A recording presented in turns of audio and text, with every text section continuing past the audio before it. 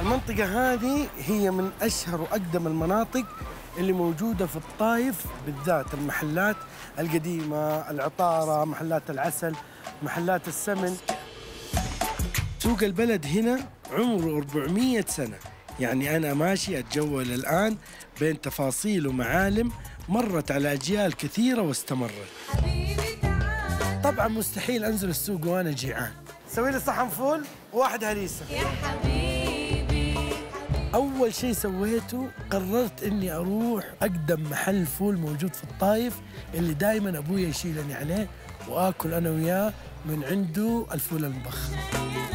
هذا الفول المبخر مع التميس. الله الله. محل الفول هذا بيسوي الفول بالطريقة القديمة الشعبية حتى بيخبز الخبز بالطريقة القديمة. هذه الهريسة الطايفية في منها أنواع طبعا. هذه هنا بس بالقمح. وفي منها باللحم مع القمح ونحط عليها من فوق شوية سمن أو عسل وسكر.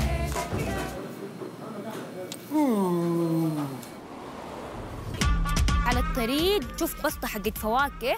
نزلت عندها. أعطيني مشمش.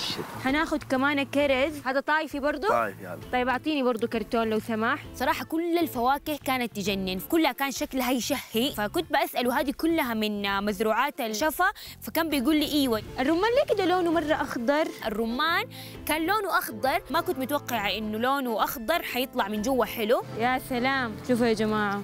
طيب خلاص أعطيني واحد صندوق لو سمحت. شكرا. الله يعطيك العافية. العفو. شكرا السلام عليكم. في عندك ابن بلدي؟ أبغى ادوقها بالله معليش. بدأت أمشي على المحلات بسرعة كده وأتفرج فيها. محل المساويك أخذت لي كم مسواك كده. شفت محلات السمن والعسل. من المحلات اللي ما أنساها زرت محل أبو نايف لبيع الحليب الطازج. ومنتجاته لقيت عنده قشطة بلدي. قال لي أضيف لك عليها عسل. قلت له ضيف عليها عسل. قشطة بلدي. بعسل لا طايفي. كم بتوديني اليوم يا أبو نايف؟ لقيت نفسي قاعد آكل مو قشطة مهلبية بالعسل. ما حنسى طعمها طول حياتي. والله العظيم خرافي. الأرض الموية المناخ. من الأسباب في إنه أهالي المنطقة يحترفوا الزراعة. فنلقى الفاكهة والخضار في كل مكان. والمزارعين يستقبلوك بابتسامة تشيل عنك هموم الدنيا.